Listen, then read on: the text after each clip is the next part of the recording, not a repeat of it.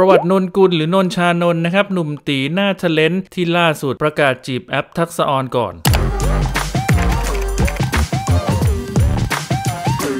เป็นหนุ่มหล่อที่ไม่เคยหยุดพัฒนาตัวเองเลยจริงๆนะฮะสำหรับนนชานนสันตินัทรกุลนะครับหรือนนกุล หนุ่มหล่อมากความสามารถด้านการแสดงนะฮะที่ตอนนี้เรียกได้ว่าบุกตลาดโกอินเตอร์ที่ประเทศจีนเป็นที่เรียบร้อยนะครับนนกุลนะครับมีชื่อจริงว่าชานนสันตินัทรกุลนะครับถ้าอ่านผิดขออภัยด้วยนะฮะเกิดวันที่ 6 มิถุนายน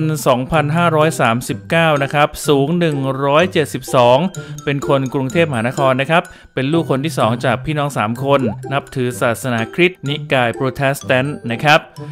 จบการศึกษามัธยมศึกษาตอนปลายจากโรงเรียนกรุงเทพคริสเตียนวิทยาลัยนะฮะเราจบการศึกษาหลักสูตรศิลปศาสตรบัณฑิตนะครับสาขาวิชาการผลิตภาพยนตร์ หลักสูตรนานาชาติ วิทยาลัยนานาชาติ มหาวิทยาลัยมหิดลนะครับนนกุลโด่งดังจากภาพยนตร์เรื่องฉลาดเกมโกงในปี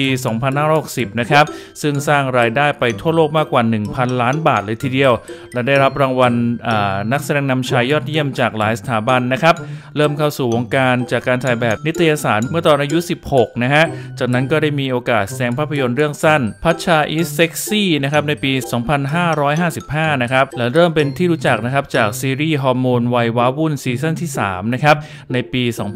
2558 หลังจากนั้นนะครับนนกุลได้แสดงภาพยนตร์และซีรีส์หลายเรื่องนะครับ เช่นบุพเพสันนิวาส2นะครับฮอร์โมน3นะฮะ Love Songs Love Series ตอนเพื่อนสนิทนะครับ บางรักซอย 9 Bangkok Love Story 2 นะครับ เล่ห์แค้น หอมกลิ่นความรักความรักด้วยใจเธอ ร้อยเล่มเกมออฟฟิศและในส่วนซีรีส์ต่างประเทศนะครับ ก็มี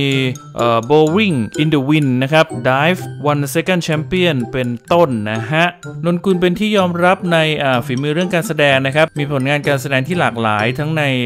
ภาพยนตร์ ซีรีส์และละคร ได้รับการเสนอชื่อเข้าชิง รางวัลนักแสดงนำชายยอดเยี่ยมจากหลายสถาบันนะครับ และได้รับรางวัลนักแสดงนำชายยอดเยี่ยมจากภาพยนตร์เรื่องฉลาดเกมโกง และนอกจากงานแสดงแล้วนะครับน้องนนก็ยังสนใจในด้านการผลิตภาพยนตร์อีกด้วยนะครับนนกุลเป็นนักแสดงที่ได้รับความนิยมอย่างมากทั้งในประเทศไทยและต่างประเทศนะครับด้วยความหล่อเหลาฝีมือทางด้านการแสดงยอดเยี่ยมนะครับและมีบุคลิกที่น่ารัก จึงทำให้น้องนนเป็นนักแสดงที่ใครหลายคนชื่นชอบนะฮะและล่าสุดนะครับเมื่อวันก่อนนี้เองน้องนนก็ได้เปิดใจ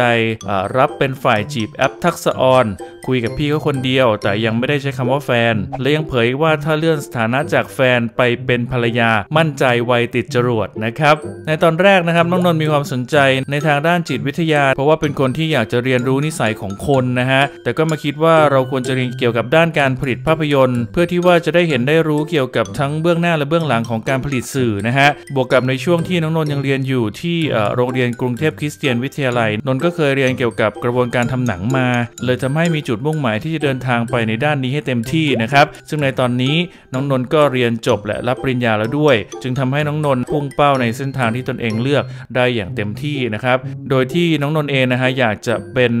ดาราระดับฮอลลีวูดเลยทีเดียวนะครับ ซึ่งนนก็หวังว่าต้องเป็นให้ได้ทางทีมขับพีนิวนะครับก็ขอให้น้องนนประสบความสำเร็จในทุกเส้นทางในทุกวิถีทางที่น้องนนเลือกนะครับ ขอขอบคุณข้อมูลดีๆ จากสนุก .com และขอบคุณเพื่อนผู้ติดตามด้วยนะฮะ